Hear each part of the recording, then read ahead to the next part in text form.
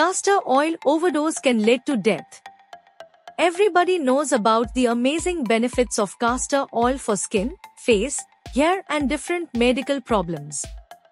But, did you know about the side effects of castor oil? Or what happens if you take an overdose of castor oil? We are going to discuss about the various side effects that can happen due to overdose of castor oil. First, if you take an overdose of castor oil which is about 60 to 90 milliliters of castor oil, can cause abdominal cramps, nausea, vomiting and diarrhea. Second, applying castor oil can also cause skin allergies like rashes or skin irritation in some people. Also, it can cause dehydration due to diarrhea or increased bowel movements in some people.